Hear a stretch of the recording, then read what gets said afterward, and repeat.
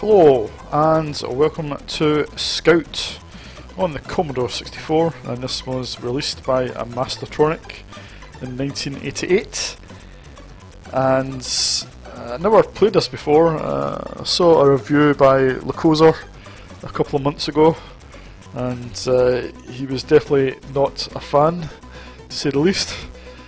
Uh, he very much gave it the thumbs down and uh, it's quite an entertaining review. I'll, I'll, put a link to it in the notes uh, for this video in the description. Uh, definitely recommend having a look at that, but uh, I thought I'd have a go myself and uh, see if I liked it any better. So let's get started. So the idea is you take control of this uh, scout vehicle, looks a bit like a sort of wheelchair and the idea is you've just got to make your way to the end of each level and there's 8 levels in total. And the screen just keeps scrolling. Um, I've already lost a couple of lives already. Uh, 3 lives already. And as you probably guessed uh, it's a pretty hard game. Uh, it's absolutely brutal. And uh, certainly alarm bells probably ringing uh, when you see the amount of lives it gives you at the start of the game uh, you know it's going to be pretty tough going. But um, it's I don't know. There's something about it that ke actually kept me coming back. Uh, maybe it's just uh, sheer bloody minded uh, determination. But uh, for some reason, uh, I, I, don't know. I, I started playing it, and even though it, it completely kept my arse um, for uh, not the first few goes, but quite a considerable amount of goes. Uh, still kicking me ass, uh, but uh, for some reason I kept coming back to play it. I think partly, uh, certainly the music plays a big factor, and I, I can't stress enough how much it adds to the game. Uh, music by Jeroen Tel, it's a brilliant tune, and it really it just adds a lot to the game. Because the game itself actually does uh, it seems to go out its way to just completely piss you off. Um, the collision detection is pretty terrible. Uh, as soon as you go near the edge of a platform, you explode. Um, sometimes it can actually work in your favour. Uh, it's so bad, sometimes it, uh, it, can actually let you off. I mean, so um, sometimes it balances out. But uh, the biggest problem is the fact that the, en the enemies zigzag up and down uh, so quickly, uh, much faster than uh, the rate of fire on, on your vehicle. Uh, sometimes it's just very hard to actually destroy them.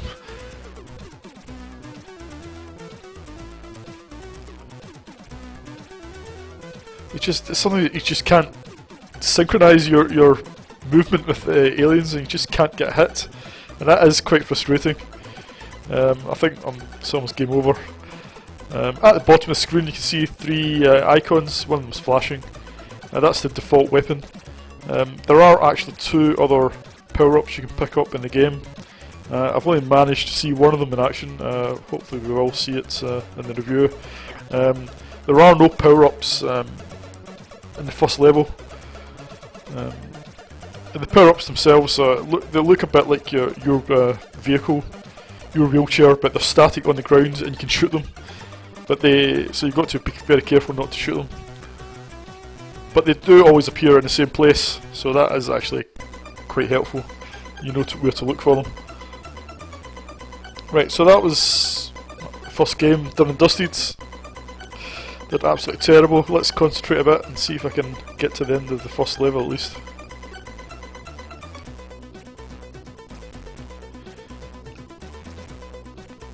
And even though the game is ridiculously hard, uh, sometimes you can make progress in the game. It's, it's probably more down to luck than anything. It's um, the, the first I managed to get is level 4. I've done that a couple of times, but uh, generally I can, I can get to level 3. But some games, uh, you know, I start a game and I just can't get off the first level. It's just purely down to luck and perhaps a bit of concentration. Uh,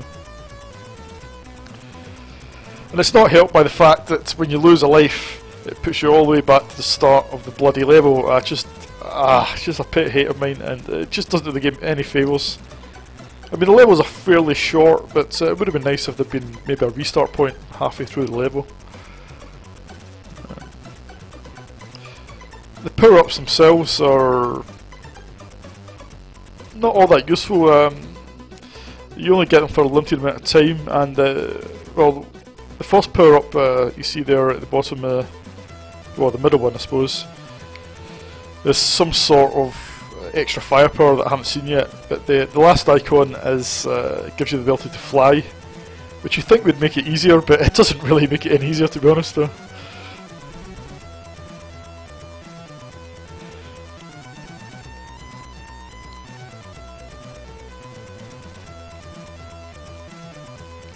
I'm just getting my arse kicked big time.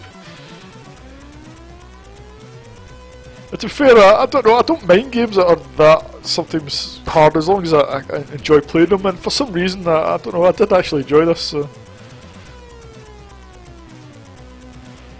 Yeah, uh, gave it uh, a, a, grand score of a 0 out of 10. Uh, he did say the music did to help uh, give it a, a, 0 rating, otherwise he, he would have uh, definitely give it a minus, possibly put it in his crap games uh, award category. Um, uh, the Zzap review gave it 48%. Um, Gordon Houghton was kind of on the fence about it, he seemed to quite like it a little bit. Uh, Julian Rignall absolutely hated it, which is a bit of a surprise because Julian Rignall tend to, tended to uh, like difficult games. I thought this might be up his street, but nah, he, he seemed to think it was quite repetitive. Which is, I suppose, a bit hard to argue with. Right, I may as well just start another game. So two games down, I haven't got off the first level yet.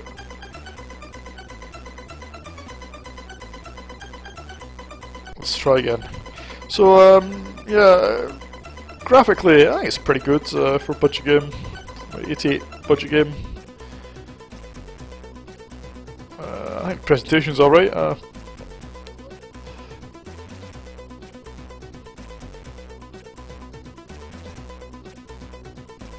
reasonably well programmed, it's just, just, just not well designed.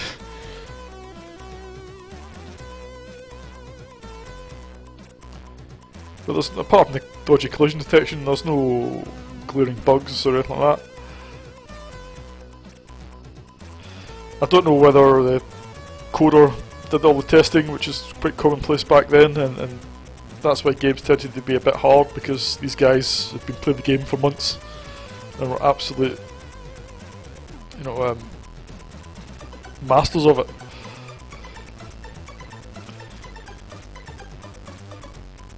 I suspect that was probably the case here.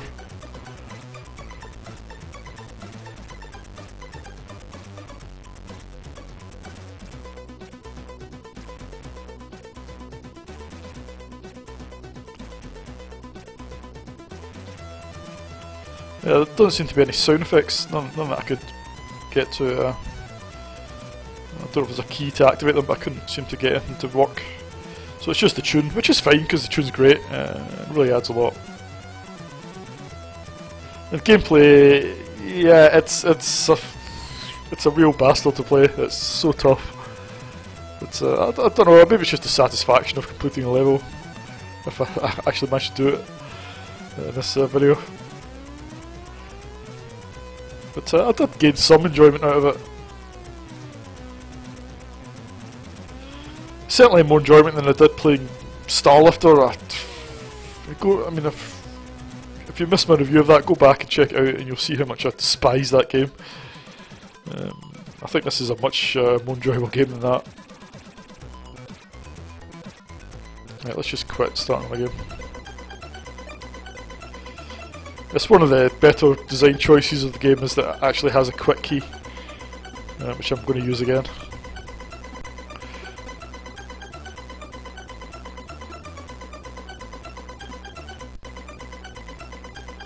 I'm going to concentrate.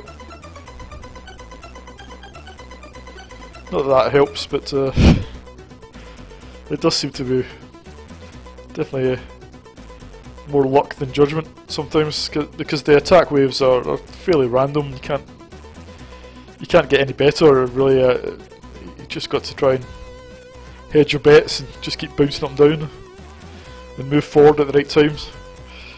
That seems to be the best strategy.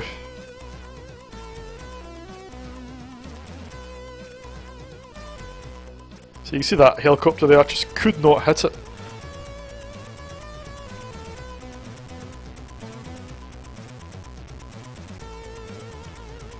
Yeah, just sometimes it's just so hard to sync up your shots with the uh, movement of the aliens. And talking of aliens, it is a fairly oh swine. It's a fairly random selection. The helicopters, blobs, um, looks like a hang glider there. Um, yeah, it's a fairly random selection of enemies. Uh, there doesn't seem to be much thought put into the, the design of them.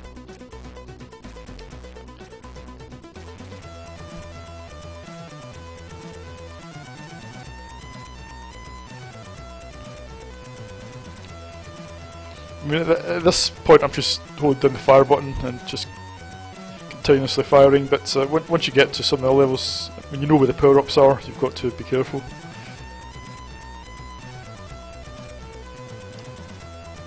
Oh!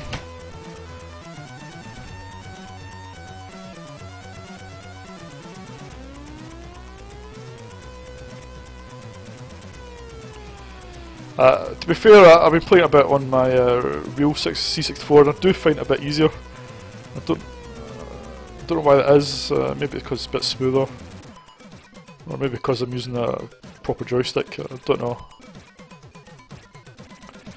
But I'm not going to end this review until we have seen at least another level.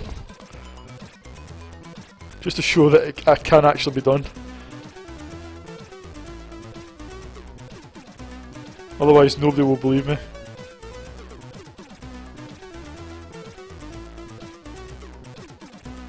Fact, I'm just going to quit. Because I just don't have a lot of life left.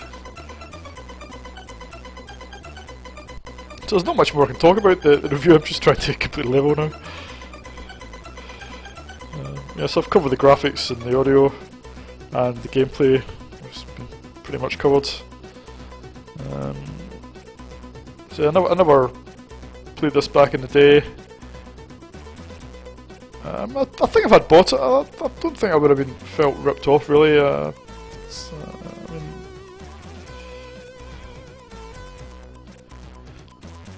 bought worse, um, not just Starlifter, but uh, you know, other games uh, worse than this.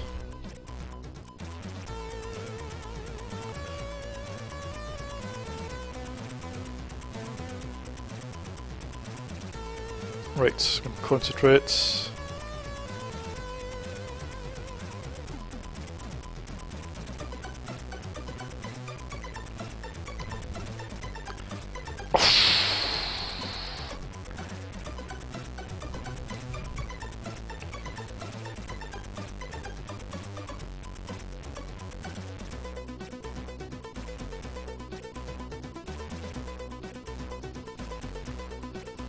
A chance to listen to the great music.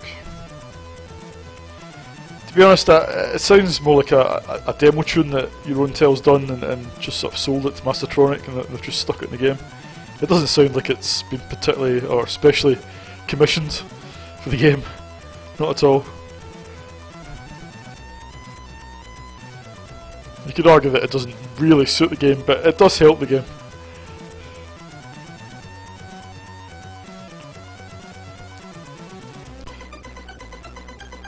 Okay, I must have had about 10 games of this and not got off the first level.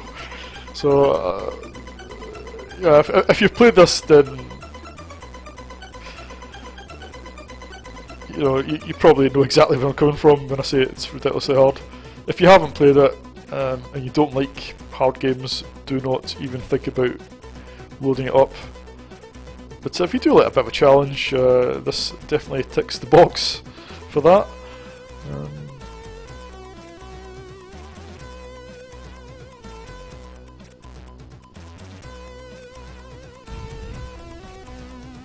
Most of the aliens can be dodged, it's just those zigzagging helicopters that really get annoying.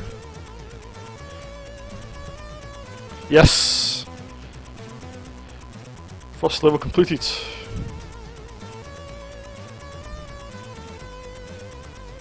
And we get this bit where it gives you some bonus points, and you can't skip it, and it takes ages. I suppose it gives you a, a bit of a rest. It does get a bit annoying. And we're on to the next level, and to be fair, there is a bit of graphical variety uh, in levels. Maybe not so noticeable in this level, but uh, certainly level 3 and 4 are quite different looking. I've no idea what the other levels look like. I'm not sure I will ever get to them. Because as hard as level 1 was, and level 2 is, level 3 and 4 are very, very difficult indeed. Right, I think there's a power up coming up, I'll try and get it. Just shot the bloody thing. Uh, I think there's another one in this level, there's two. Hopefully I'll get the second one.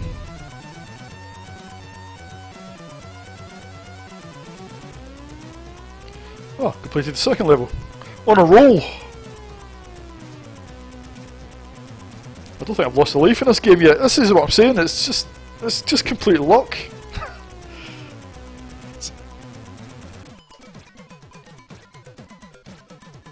I'm not doing anything different really than I did in, in the 10 games I had before this.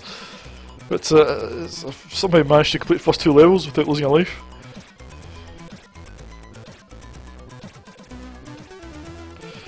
Yeah, yeah, the jumps are really difficult in this level. Some of them are really don't give you much scope to make any mistakes.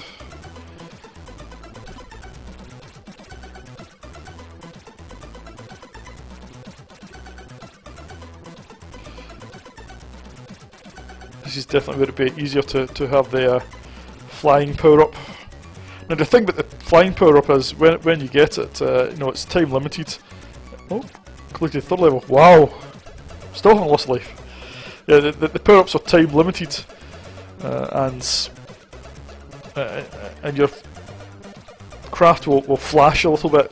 That gives you a warning that uh, it's about to run out. And when it runs out, it just it just drops you on the ground. So if you're above a bit of scenery that you know is uh, is dangerous, that it will just drop you onto it. Uh, so you've got to watch where it drops you. Yeah, for some reason your your wheelchair looks a bit different in this level. I don't know whether it's the colour scheme or. Let's have a look. Uh, it does look a bit different. Uh, might just be the colour scheme. Don't know.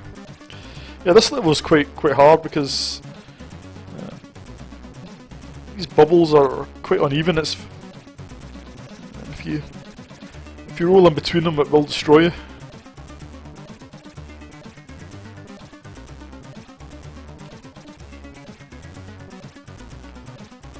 Oh, oh, oh, damn it! That looked like a power up. Damn it!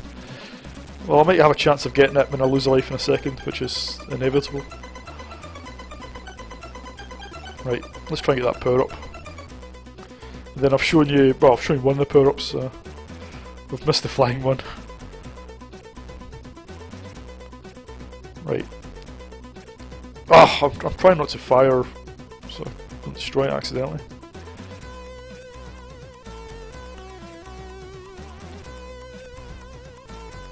This is probably the best game I've ever had of it. Uh, I got to this level with lots of lives normally I've only got one. Thing is, you can't, you can't even, you got to watch me move backwards so that you don't move onto a bit of uneven scenery, otherwise it will blow you up.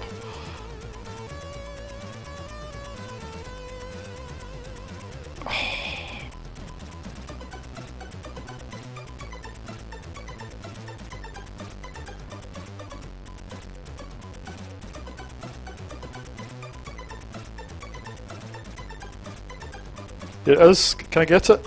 Yes! Oh, that's a bit disappointing. I thought it'd be a bit more impressive than that. I suppose it's a bit wider, I mean, it's a bit more chance of actually hitting the uh, zigzagging enemies. Well, obviously not. And it's time limited, so when you lose a life, at least you still have it uh, for a while. I think if you pick another one up while you have if I pick it up, if I pick it up again, then it extends Yeah, it will extend the time I've got it for, but I've missed it, yes, swine.